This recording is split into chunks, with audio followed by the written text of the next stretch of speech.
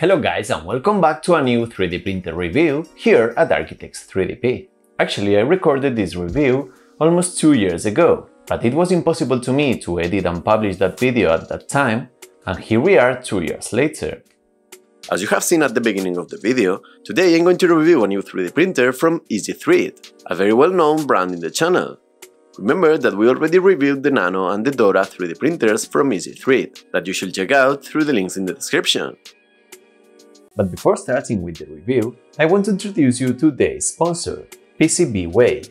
With their company, you can manufacture PCB prototypes, SMD stencils, PCB assemblies, flexible PCB, advanced PCBs, and also the CNC and 3D printing services that we already use and right now are at 10% discount. Using PCBWay is very easy. You just have to make the online quote, upload your PCB file, make the order review, make the payment, from then you can check in real time the fabrication process and then will they proceed to the delivery until you get your PCBs. Check PCBWay.com right now since they have an assembly service promotion for only $30 in total for PCBs assembly.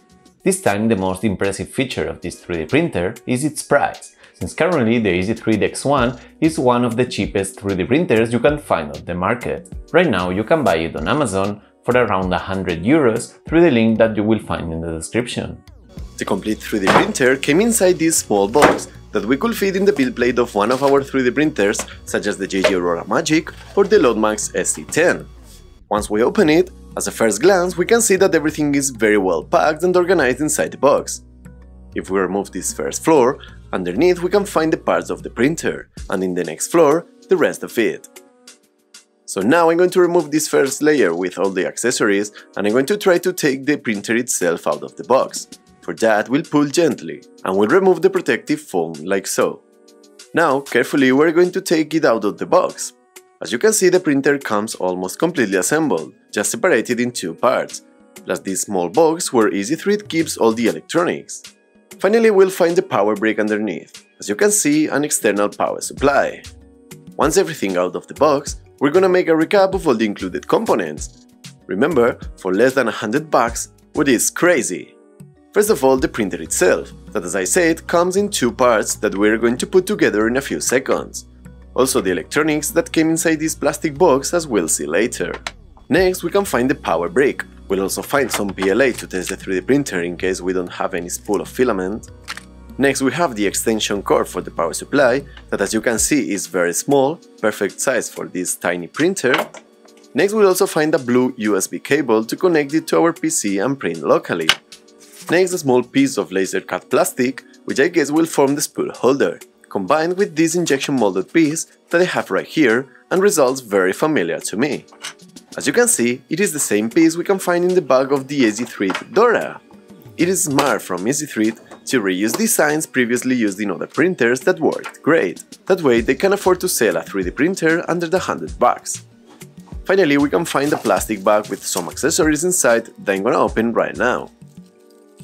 As you can see, we have a small screwdriver, two long screws with the pre-inserted nuts, and finally a USB microSD card reader with a 512MB microSD card inserted. It's been almost 10 years since the last time I saw such a small capacity SD card, but it makes totally sense in this case, since we won't be able to print more than one file at a time, and it's gonna be hard to create a single G-code file with a size larger than 512 megabytes. So despite the low capacity, it will work perfectly fine in every case. Now I'm gonna pick up the small laser cut piece of polycarbonate that I have right here, and I'm going to remove the protector. Now it's ready to install later on. Next, we're going to put together the power brick and the extension cord that we'll use later. Next, we'll put together the 3D printer itself, that as you can see, comes with the y-axis from one side, the electronic box, and the X and Z axes that are pre-assembled right here. The process is gonna be very simple. We'll pick up the XZ axis assembly and we'll insert it in place just like so. Next we're going to connect these two cables for the end stop of the Z axis. It's then where we'll pick up the long screws and nuts and we'll insert them through the base of the Z axis just like so, tightening them with a screwdriver and a pair of pliers later on. As you can see, the electronics compartment comes already pre-assembled. As you can check, here it has four buttons.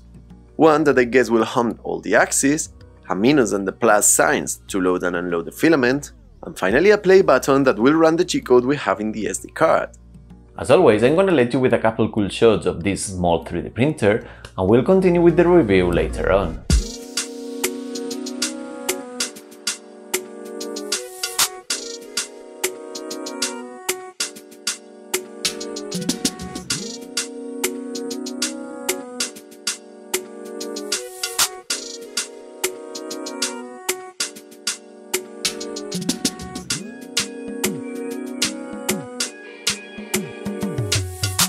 As you can see, it is such a small and good looking 3D printer. That we could fit entirely in the heated bed of one of our regular 3D printers, in this case the Lotmaxx SC10.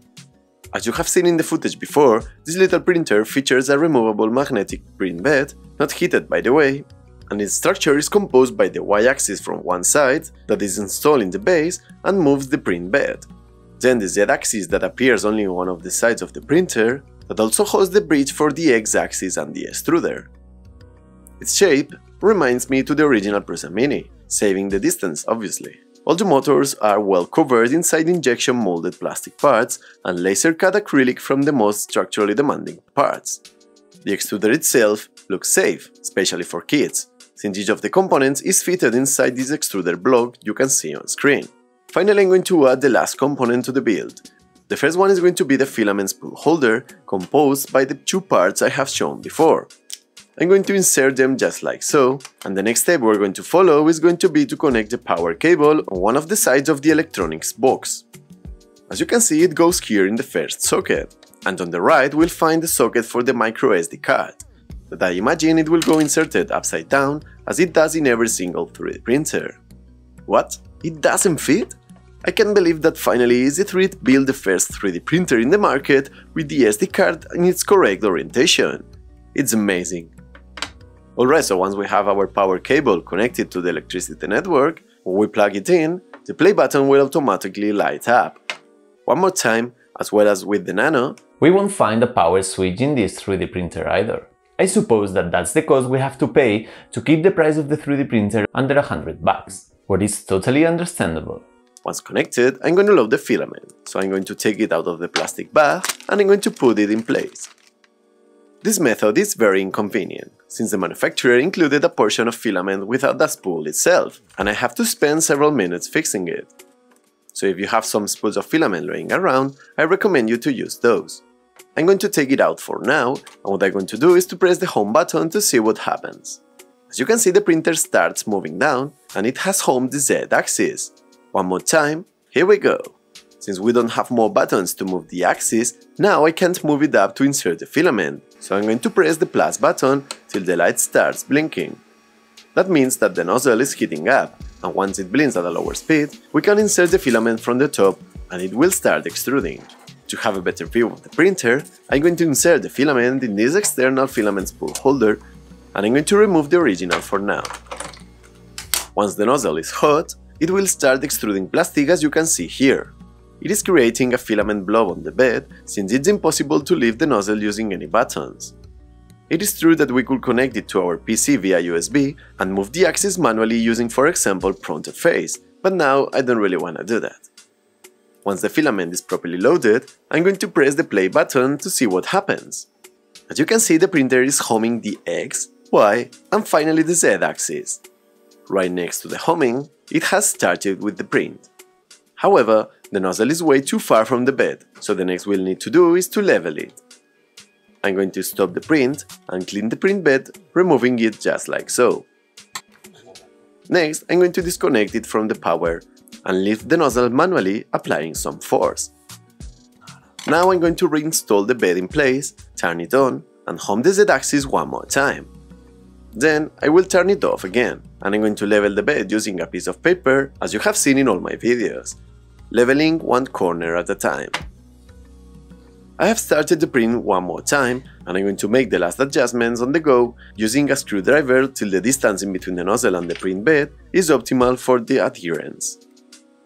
Once the printer is properly leveled, we'll press play one more time, and hopefully we'll get a successful print.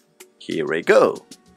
In this closer shot, you can see that the bed adherence is now just perfect in the rough the printer started printing with the included example G-code file.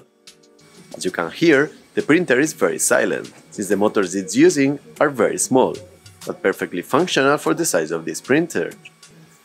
After a few minutes the print has finished, and here we have what looks like a nice white cat.